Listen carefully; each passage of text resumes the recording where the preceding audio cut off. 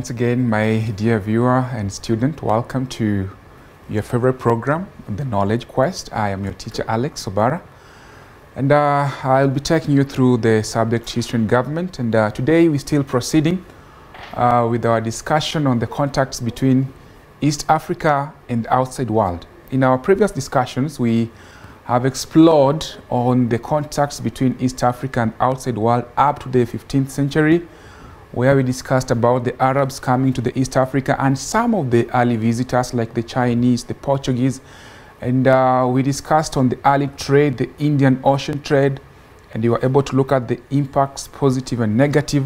And then eventually we went ahead and discussed about the Portuguese and they're coming to the East African coast. And uh, we were able to look at the reasons why they came to the East African coast. Uh, we saw how they were able to uh, entrench their rule to conquer and establish their rule in East African coast. And uh, eventually we saw on the decline, on how the Portuguese uh, declined on uh, ruling East African coast. Having looked that into detail in our last discussions, today I want us to discuss on the impact of the Portuguese rule.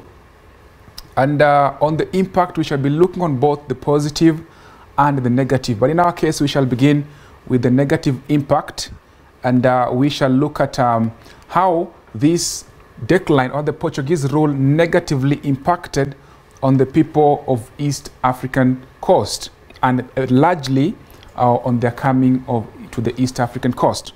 So the first uh, negative impact is that this rule led to the decline of trade or other economic activities and uh, you realize that the Portuguese, as they came, they plundered. In other words, they uh, negatively impacted uh, the Indian Ocean trade, disrupted the trade by imposing or imposition of heavy taxation. In some way, this discouraged uh, those communities or those participants who are taking place in the Indian Ocean trade. So that led to the decline, right? And that, of course, you'll realize it has got economic impacts on the people. Those people who initially depended on their trade for their livelihood, who depend on the trade as their way of making, you know, ends meet, uh, it acted negatively. So it led to decline of trade and other economic activities. You realize that those economic activities which were related now to this trade, right? So uh, that in some way also uh, negatively impacted on the people of East Africa. Number two, uh, there was constant rebellions in their 200 years rule. Of course, that is wrong. That's not a good thing, all right? So having 200 years of constant rebellion, that means lack of peace. And of course, you know, where there's rebellion, people must be injured. People must suffer. Uh, things must be destroyed. So that leads us to understand that the Portuguese rule was ruthless. So the people did not enjoy uh, the Portuguese rule in the East African coast. Then number three, of course, out of these rebellions, there was loss of life, destruction of property as downs were looted and some were burnt down and crops were destroyed. These are very poor tactic uh, which was used by the Portuguese. All right, it was a very poor tactic which was used by the Portuguese uh, which was clearing everything, cut down crops, destroy buildings, you know, uh, kill people. And as a result, that acted negatively uh, to the people. That's called a scorched earth policy tactic of war, which says go and destroy, clear, cut down, kill animals, confiscate them. And therefore, as a result, that also was negative. Number four, there was an inefficient administration. That is to mean the Portuguese administrators governed the coast poorly. So the administration was not very efficient. They did not be able, they were not able to cover large areas. They were not able to entrench their rule in a good way. So there was inefficient administration. People didn't really feel like the Portuguese were carrying out their rule in the right way. It was not efficient in any way. And number five, the local people did not cooperate with the Portuguese. It's, it's obvious that uh, if the rule of these people is going to be ruthless if it's going to be harsh, if they are going to apply tactics like scorched earth policy to, to kill people and to destroy property, therefore people will outrightly rebel. Therefore, the local people did not cooperate with the Portuguese. And as a result, you realize that the local people did not gain in any way. And also, the Portuguese ended up losing. That was negative. And then uh, there was also decline and ruin of coastal towns. There were towns which were burnt down. Okay? There were towns which were burnt down as a result of the way the Portuguese were administering their rule. Towns like Pate, talked about Zanzibar, we talked about Sofala, okay? Those towns, at some point, the Portuguese employed the scorched earth policy. And therefore, some towns, some old towns which were flourishing, doing well, attracting more investors, attracting more traders, declined and eventually were ruined completely. So you go, you will find that uh, there are some old towns which lay in ruins. In other words, people initially were there, but because the buildings were destroyed, because the structures were destroyed, people no longer live in those given areas. So that actually led to the decline and ruin of coastal towns. That decline and ruin of coastal towns. Number seven, their, their rule and disrupted Islam. The Portuguese undermined the Islamic religion. So, in other words, these people, as they were trying to establish their command, and their role in that case, and their uh, uh, and the administration, they disrupted Islam. Because you remember, one of the reasons which motivated them to come was to counter the spread of Islam and instead spread Christianity. So as they're coming, their rule disrupts Islam from spreading further. And then further, they also undermined the Islamic religion. So in other words, they don't look at Islam as a good religion. They looked at it as a negative from a negative uh, perspective. And that, of course, also was to the detriment of the people who had converted into Muslim and, of course, also to the Christians who were being looked from a negative lens. Uh, Number eight, there was introduction of guns and ammunition, which led to trans intensification of warfare and insecurity in the region. Of course, this means that uh, new weapons were introduced. Initially, there were weapons, but we can classify them as crude kind of weapons which were not as refined. So in this case, we are having introduction of guns, ammunitions. This led to intensification of warfare and intensity and um, sorry insecurity in the region. So it means that uh, those people who had wrong intentions, for example, wanted to steal, wanted to loot, could use these weapons in the process, and therefore that led to increase in insecurity and of course warfare because now people had weapons, all right? And those weapons, as we can say, they were introduced by who? By the Portuguese, and therefore that also uh, was a negative impact. Then we also have number nine, slave raiding was intensified. Okay, so there was intensification of slave raiding because you realize now with the time uh, slave trade became again popular. Of course, you realize they came and their main idea was to do away with slave trade. But over time, because they were unpopular, slave trade again came back and therefore it was entrenched and more people were captured as slaves. And of course, we saw earlier with slave slave uh, raids, there was more suffering, uh, there was more hatred between people, and all that. Number 10, though the Portuguese were the forerunners of Christianity in East Africa, their religion hardly made a mark on their coastal civilization, which was primarily Islamic. You realize they came with the idea, with the motive of spreading Christianity. But you realize the way the approach that they used was not very favorable. The people resisted, and therefore that, that as a result, did not make any mark. So if you go to the coast largely, you realize that most of the people at the coast are Muslims. Why? Because the Portuguese never used the right technique or rather tactic in as far as spreading their religion was concerned. So that is why today you realize that primarily the coastal areas are occupied by Muslims. And then number 11, the way of life of the local people, of course, refused to copy anything from the Portuguese. And uh, their dress and customs barely made an impact on the coastal people. That is how bad those people are viewed, to the point that even their culture was viewed as bad. You see, when we talk about culture, we're talking about the way of living, how they dress, how they eat, and all that. So, the way of life that the local people refused to copy anything from the Portuguese because their dress and customs did not make any impact on the cost of people. So, they thought this is just hogwash, it doesn't make any sense. So, they did not copy anything. And then, uh, number 12, let colonization. The coming of the Portuguese paved the way for the conquest of East Africa, East Coast Africa by other European powers in later years. Of course, we said they happened like the foreigners. They opened up East Africa, and that encouraged other European powers to come in. Of course, you realize that as they were coming in, they were trying to outdo each other. These are some of the things we'll discuss in our later lessons in history. And you realize that some of the reasons why the Europeans entrenched their rule in East Africa, there was that issue of nationalism.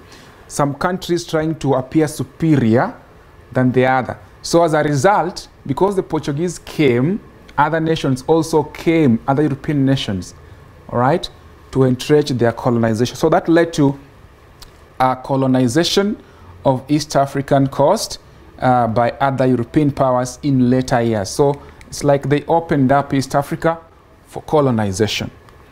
And then uh, having looked into that, let us now discuss on the positive. Of course, that was the negative bit of it.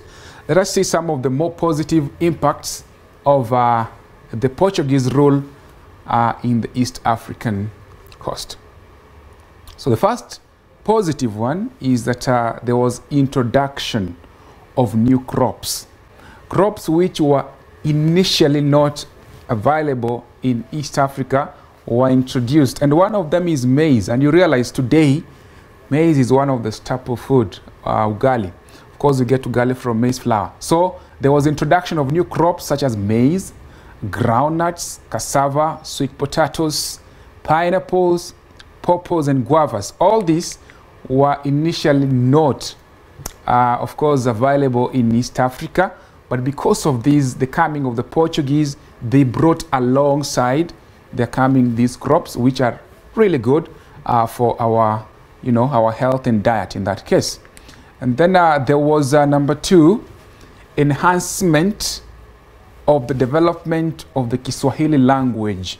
Okay, that means that Kiswahili was able to get more vocabulary. They were able to borrow from the Portuguese language, and those uh, Portuguese words were Swahilinized, if there's a word like that. They were made into Swahili. So there are some words, for example, mesa is Portuguese, uh, which was made table in English, huh? mesa. Then we have baruti, okay, which are dynamite. It was, it, this is Portuguese. Then vinho is Portuguese wine. So these are words which were added to the Kiswahili vocabulary as a result of the coming uh, of the Portuguese. Number three, they also influenced the architecture of the East Coast. So, of course, also there, um, there are some designs of buildings along the East African coast which are of Portuguese in nature. Of course, you go to the Fort Jesus, uh, you look at the Vasco da Gama pillars, areas around Malindi, Mombasa, and um, uh, Kwale, all those areas. If you go those areas, you realize that there's some buildings which uh, they borrowed the designs from the Portuguese architect. Of course, apart from the Arabic, uh, there were those architects which were followed, borrowed from uh, largely from the Portuguese. Number four, there was promotion. There was promotion of good relations between East and Coast, East Africa, of course, and India. Right? So there was that promotion of good relation. People began to relate well uh, as far as, you know, the. Of course, you remember we said that India acted as the headquarter. It acted as the headquarter for the Portuguese. So there was that boosting of the relationship because they had something in common. There was something in common that both of them were under the control of, um, of the Portuguese. So in some way, it promoted good relations between the East Coast and India. So there was that communication, traveling to India and back and all that. Um, there was also number five, opening up of the East Coast to other European powers such as Britain, Holland. This, if we look at from the positive lens, in the sense that it opened up East Africa for more trade. Of course, you don't want to look at from the negative side, which is colonization, but it is opening up East Africa to other European powers like Britain and Holland, which boosted the trade and good relationships, international relations between uh, East African coast and the other European powers like Britain and Holland. And then number six, another positive, uh, positive effect is that there was introduction of farmyard manure. Very important because this one is uh, good as far as agriculture is concerned. Yeah, so it, um, it introduced, there was introduction of farmyard manure which improved in some way it improved, uh, you know, the, the, the products and the crops which were, you know, um, cultivated then. Number seven, which is also positive in a way, that a few Africans were converted to Christianity, all right? So uh, the, those Africans who were appealed, who got appealed to the religion of Christianity, uh, so they were able to build a few churches and converted a few Africans to Christianity. Of course, we said their approach was wrong.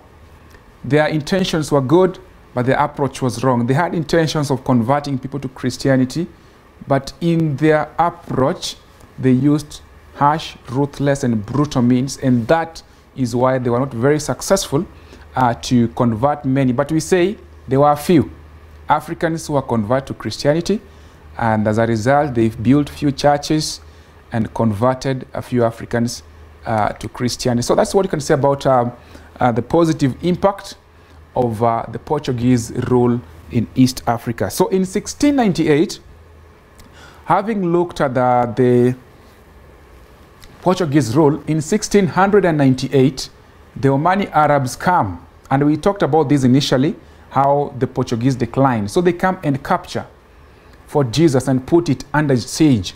So after the capturing of that, the Omani Arabs begin to establish their rule in East African coast. So after the fall of Jesus in 1698, the east coast of Africa came under the Omani rule. So Omani rule, these are Arabs from Omani, right? These are Arabs from Omani. So that's why I call them Omani Arabs or the Omani rule. Oman is a small country in Arabia on the Persian Gulf. Okay, so if you go to your atlases or to your maps, look at Oman in Arabia, look at the Persian Gulf, you'll be able to see Oman.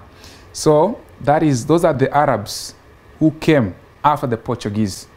So after the Portuguese have been captured and Fort Jesus is taken under the Omani, so they come uh, from Arabia in the Persian Gulf. So the Imam of Oman became the ruler of the East African coast. Right, so there's change of guard. Initially, we say it was uh, the viceroy, the Portuguese viceroy, the captain general, who was based in um, uh, in Goa in India. But in this time now, the Imam of Oman became the ruler of the East African coast.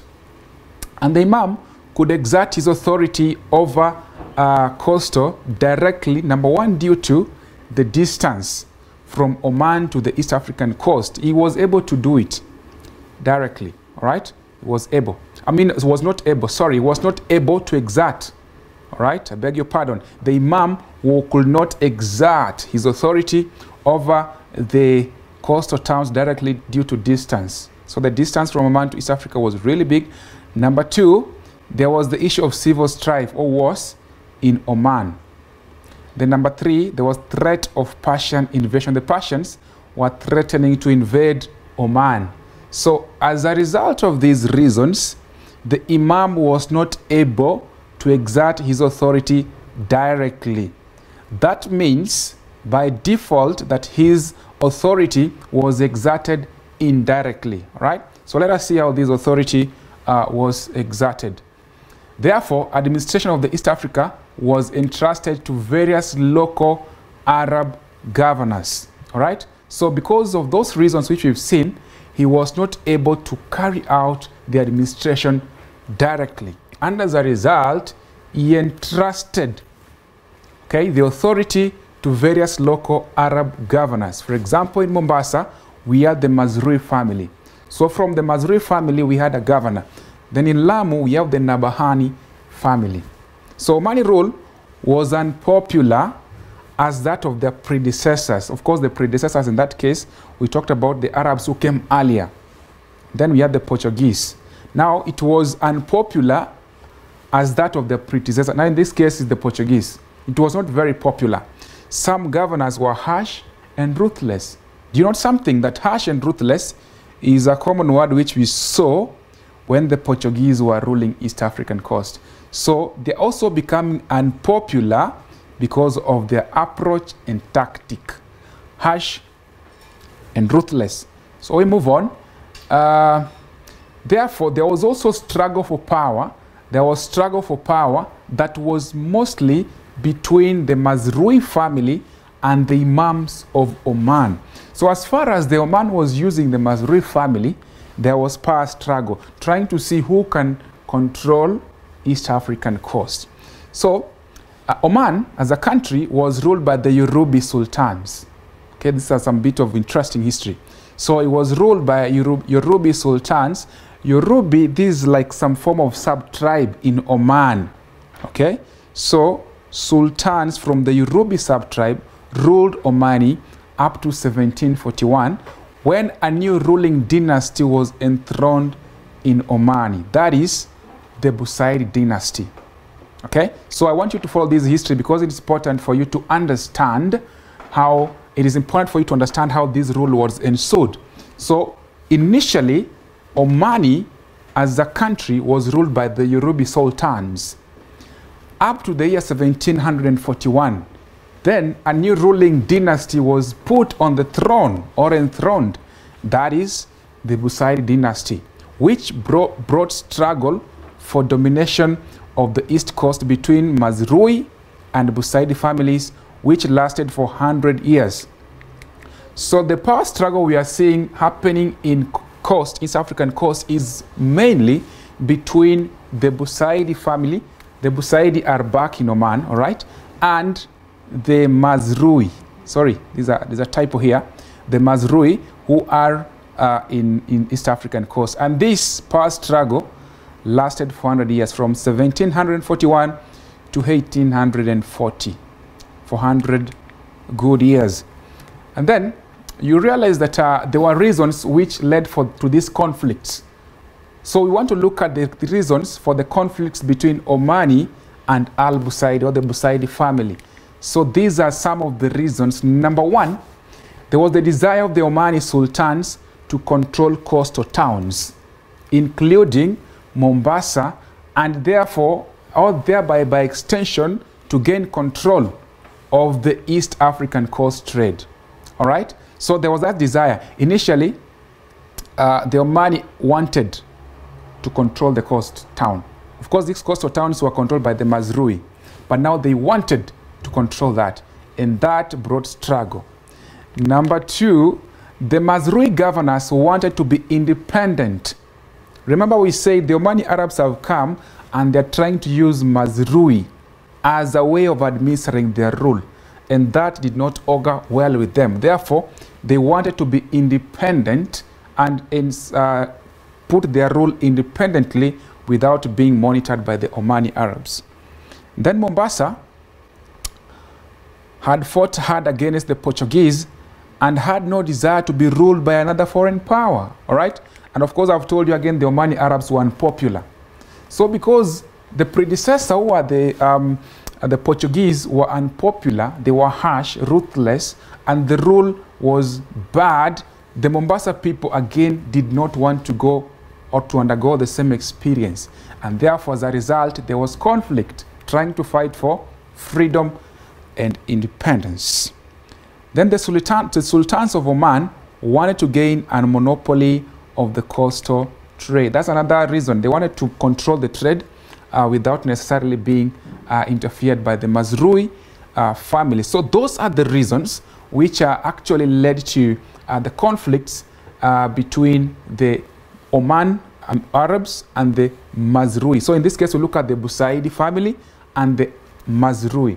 Busaid are Omani Arabs. The Mazrui are the coastal Arabs who are in, uh, in the East African coast. So we're going to have a short break and then we'll come back and proceed and uh, see how the Omani Arabs was established and how this conflict came to an end eventually.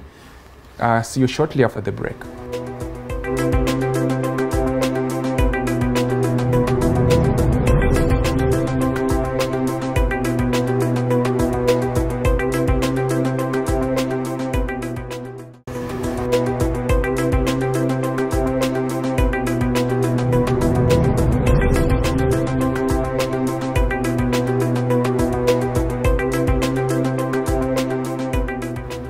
Welcome back after the break, and uh, we are on with our discussions on uh, the establishment of the Omani rule. And I've given a brief discussion about the Omani rules and uh, Omani, and we've said Omani is a country. So we're talking about Omani rule. These are Arabs who came from that country to control East African coast. And we've said that um, after giving a brief history about the Omani Arabs, we see there is some form of conflict ensuing between the Al Busaidi family and the Mazrui family. Al Busaidi back in Oman and the Mazrui back in East African coast. And these are the reasons that we gave which led to the conflict. Number one, he said the desire of the Omani sultans to control the coastal towns like Mombasa. Number two, we said the Mazrui governors wanted to be independent. Number three, we said Mombasa people had had feelings against the Portuguese. You know, they had experienced the Portuguese rule, which was really bad and therefore they wanted to be independent from another foreign power. Then also number four, we see the sultans of Oman wanted to gain a monopoly. They wanted to control the business without necessarily uh, having uh, to involve any other uh, power. So there was there are some milestones of this struggle between Seyyid Said, all right, and the Mazrui governors. So Seyyid Said, these are money money ruler back in Omani. That's very important. So we have to understand this. Let's see. This will give us a good history. So in 1806, Seyyid Said ascended to the throne in Oman. Okay? In 1806, uh, Seyyid Said moved or ascended to the throne in Oman and continued with the struggle. So the struggle didn't end with the change of governor. So as Seyyid Said is coming, the struggle continues. He built a fortress in Mombasa and ordered all towns to recognize the power of Oman. So he built a fortress in Mombasa and instructs that the Mombasa people and all the people to recognize him and the power of Oman. In 1800, 1800 to 1807, Mazrui, so you see there is power struggle. Mazrui extended their rule from Malindi to Pangani. Of course, that is coastal still. Uh, in 1807, Mombasa uh, took over power. In other words, you are saying Mombasa was came, the Mazrui family took over uh, Pate. In 1810, Mombasa attacked Lamu. So we're talking about these two states struggling, this power struggle there between Busaidi and uh, the Al Busaidi and talking about the Mazrui. Under Seyyid Said there. So in 1814, Mazrui governor appealed to the British for aid. So there is a power struggle still going on and Mazrui is appealing for the British to come in and assist him in their struggle against the Omani Arabs. Very important. Let us proceed. Um, so what happens? In 1817, Seyyid Said liberated Pate from Mazrui rule. So you see there is also taking up, fighting and taking up of states. So Seyyid Said liberated Pate from Mazrui rule. He liberated Pemba and Brava from Mazrui rule. So Seyyid Said is taking entrenchment. Bit by bit, he's taking over power from Seyyid Said. I mean from uh, Mazrui. And then Seyyid Said gained control of Bajun Islands. In 1827, Seyyid Said unsuccessfully attempted to subdue Mombasa. Of course, Mombasa now was the headquarters for the Mazrui family. So in 1827 he tried, 1827 he tried but was not able to. 1829 Seyyid Said paid another visit to the coast. And in 1837, he conquered Mombasa. Therefore, he murdered all the leading Mazrui. So you're saying that there's a there's power struggle, and the only way through which Seyyid Said is able to entrench his rule is by carrying out what you call murder. So he kills all the leading Mazrui leaders. Okay, so like the the family imams were killed. So in 1840, Seyyid Said shifted his capital from Muscat in Oman to Zanzibar. All right, so Zanzibar now is closer. Zanzibar is closer. He shifts his rule, his headquarters from Oman in Zan and brings it to Zanzibar. So the question we'll ask ourselves, we want to answer this question, is um, uh, reasons why Seyyid Said shifted his capital uh, to Zanzibar from Oman. Okay, so why did he shift his capital from Oman to Zanzibar in 1840? So number one, look at these points very effectively, discuss them so that you will be able to remember them. It's very important. So number one, he wanted to control East African coast, okay, more effectively. Why? Because Zanzibar was a bit closer. So he wanted to control East African dominions more effectively, right? Because we said um, initially, as you can remember, we talked about Oman being so far away. The distance from Oman uh, to, you know, Zanzibar and East Africa was far. So he wanted to control East African dominions more effectively, and therefore he opted to transfer it from Muscat and brought it to Zanzibar. All right. Number two, Zanzibar was centrally located. That is of uh, strategic importance. When talking about um, the location, that is of strategic importance. So Zanzibar was centrally located. Its position was ideal for trade with the mainland and with Mombasa to the north.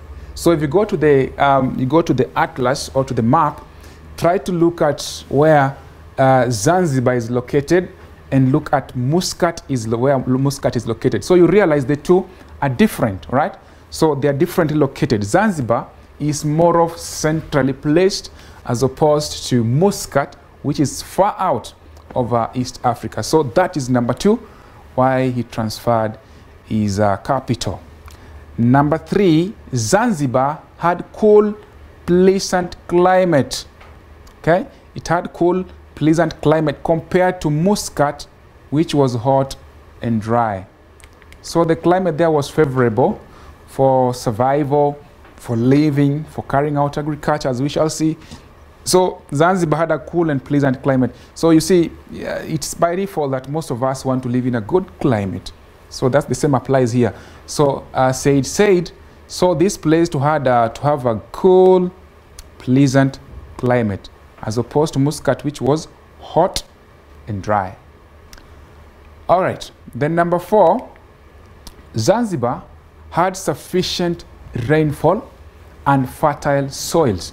That is also important. We're talking about, um, talking about rainfall and fertile soils. It's important for issues of agriculture. And especially the Omani Arabs were mostly specialized in cultivation of cloves, right? So Zanzibar had sufficient rainfall and fertile soils favorable for agriculture, especially in the cultivation of uh, cloves, right? So having, having looked at that, we look at uh, the last reason here. Its position as an island, right? It was an island. It was uh, the position of Zanzibar is surrounded by water. So that means that if an enemy will have to come and attack people in Zanzibar, they'll have to use water. And that means it's easier to do what? To safeguard, to spot an enemy from away. So this position as an island made it easy to safeguard because it was easier to see uh, the enemy from far and therefore protect um, the headquarter from any invasion of uh, enemies. Number seven, Zanzibar had good harbors, which with deep waters and could be an international port for, uh, for, for, of all large vessels. In other words, what you're saying here, that it had good harbors. And we talked about this initially, that harbors are important for docking. right, or anchoring of ship. So this means that uh, with these deep waters, it could be an ideal place for international or an international port for, for trade to dock in large vessels, uh, which would encourage more trade still. Uh, number seven, Zanzibar had fresh and clean water. Okay, so fresh and clean water for sustenance of uh, human beings, for sustenance of, uh, of, of, of, of uh, life in that in general. So it had fresh and clean water. Uh, lastly, but not least, he found out that Zanzibar was of immense strategic importance. It was of immense strategic importance, which he could use to do out, number one, international trade. So he realized this place was strategically important for international trade. Number two, for long distance trade with the interior. So it was easy also to carry out trade with the interior communities in this uh, uh, uh, area that is of strategic importance, that is Zanzibar. So having looked at that, uh, we now look at the development of plantation agriculture. So having moved to Zanzibar, like we have seen, now it's easier to control the East African coast. It's easier to control all the activities taking place. And therefore, he thought, having controlled East African coast, why not venture still? So he ventured still more and carried out what referred to as plantation agriculture. And uh, plantation agriculture is usually defined in terms of agriculture planting one type of crop on a large piece of land. That's referred to as plantation. So, uh, Seyyid Said developed plantation agriculture in the coast. And some of the factors which enabled him uh, to uh, establish and develop plantation agriculture in the East African coast include the following.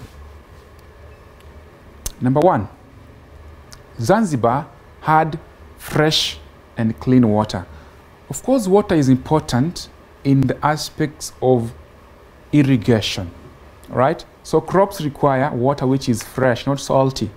So very few crops survive in salty or saline environment. But this, in this case, you are realizing that Zanzibar had fresh and clean water. So that was important uh, for purposes of growing crops and irrigation. Number two, reason why he established development or um, plantation agriculture is East Africa had great agricultural potential. All right. So, in other words, looking at East African coast, the place was potential agriculture. Looking at it at the land, it was vast land. Looking at what we shall be looking at the fertility, it was fertile. So there was potential. Okay. So he established his own club of arms in Zanzibar. Also, East Africa was particularly suited to large-scale crop growing. Why? Because of the availability of large pieces of land. I said plantation farming is usually growing one type of crop, usually over a large piece of land. So East Africa was particularly suited to large-scale crop uh, growing. And that one we say is because of the availability of large tracts of land which were unsettled or unoccupied in that case. And then, of course, with uh, establishing plantation farming, he encouraged settlers from Oman and Zanzibar to settle in Mombasa, Lamu, Malindi, and Pemba to plant cloves. So in other words also, there is the aspect of establishment of settlements. So the, the plantation farming would encourage, by default, the coming of the Arabs to live in those places, of course, to carry out agricultural activity. So in other words, it was a way, it was a tactic of encouraging more uh, Omani Arabs to travel from Omani and to come to um, East Africa. So number five, number five, agricultural activities were intensified from the year 1840. Okay, it was based on crops such as rice, maize, millet, beans, sesame, sorghum, coconut, and grains as well as tree crops such as mangoes, citrus fruits, and cashew nuts. So these agricultural activities were intensified from 1840. So he encouraged the establishment of plantations around areas of Malindi and Takaungu. So for those ones probably who have been privileged enough to travel to the coast, you talk about areas around Malindi, talk of areas ar around Takaungu. Those are some of the areas where we had plantations of mangoes, plantations of citrus fruits, and cashew nuts. And of course, in some areas, you'll be able to see sisal when you move from Mtwapa, as you move all the way to Vipingo and all that, those areas. So those are examples of crops which uh, he encouraged to be grown around those areas. Uh, so the establishment of a plantation economy intensified slave trade. How that be? That is possible. That happened as a result of the need for labor. There was need for labor uh, for people who could work in the farms. There was need for people who could harvest. There was need for people who could carry out um, irrigation. So therefore, it meant that the establishment of plantation economy had some negative impact on the local people that most of them were captured and taken as slaves to provide labor in the plantations. So you see again, this plantation agriculture, as much as we may view it as positive, it also had its negative. So you see now we are introducing slave trade. As a result of plantation agriculture, there is introduction of slave trade. So causes of the slave trade, causes of intensification. Of course, look here, I want you to note we say that uh, the establishment of plantation economy intensified slave trade. All right? So that begs the question, what were the causes of slave trade? And therefore we say number one, increased internal demand. Increased internal demand for slave labor on clove plantations in areas like Zanzibar, Pemba, Malindi, and Mombasa. All right? So slave trade again comes back. Remember the Portuguese came with the idea of doing away with slave trade. But with the coming of the Omani Arabs, with the establishment of plantations by Seyyid Said, slave trade is brought back. So the first reason we say there was increased internal demand for the slaves to provide labor on clove plantations in those areas. Number two, slaves were needed in French sugar plantations on the islands of Reunion and Mauritius. All right. So you realize that um, there were those French who had captured some areas in those islands. We have islands of Reunion and of course in Mauritius. So they established sugar plantation. Of course, we're talking about plantation agriculture. So you're seeing here again the sugar plantation. Okay. So slaves were also needed by in French sugar plantations on the islands of Reunion and Mauritius to provide labor. So there is a, the demand locally rising or local demand, and then there's also international demand in those areas. Number three, there was demand for slave porters, especially in the ivory trade and transportation of agricultural goods. Talking about porters, you are referring to people who could carry, all right? People could carry those uh, commodities. So uh, ivory trade, those ivories from animals like elephants and tusks and all that were to be carried by people. And those people were not any other people but slaves. So there was demand for slaves, for porters, especially in ivory trade and transportation of agricultural goods, which of course we say were got from the plantation agriculture. And then uh, number four, we realized there was also slave demand in Arabia to work as domestic workers or servants and soldiers. So there were those who were captured and taken to Arabia to provide domestic labor. So they were to work as domestic workers, servants, and some were to work as soldiers to provide probably uh, security. Uh, also, number five, the Portuguese, again, you see the Portuguese are appearing. The Portuguese needed slave labor in where? Their plantations in Brazil. So plantation agriculture, again, as much as it was good for the development of economy, it wasn't very good for the local Mwananchi because it meant that most of them would be captured as slaves to work in those plantations for little or no pay. So Portuguese needed slave labor in their plantations in Brazil. Um, having looked at that, let us look at some of the methods which were used in obtaining slaves. The method, this will mark, actually this will be the end of our discussion today. After discussing on these methods, we'll be able to see on what we can do uh, in our next discussion. So the methods which were used in obtaining slaves included the following. One, slave raids. Okay? So these were captured in inter and intra. We're talking about inter is between one community and another or in the same community. So we say those captured in inter or intra community warfare were captured as slaves. So if we say we have community A, and in that community is a conflict, that those people will be captured within that community.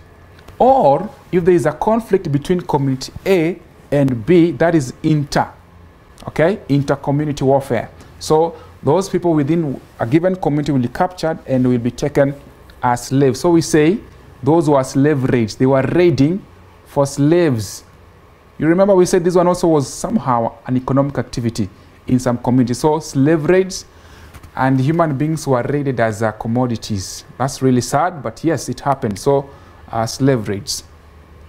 Number two, chiefs sold criminals to slave traders. Okay?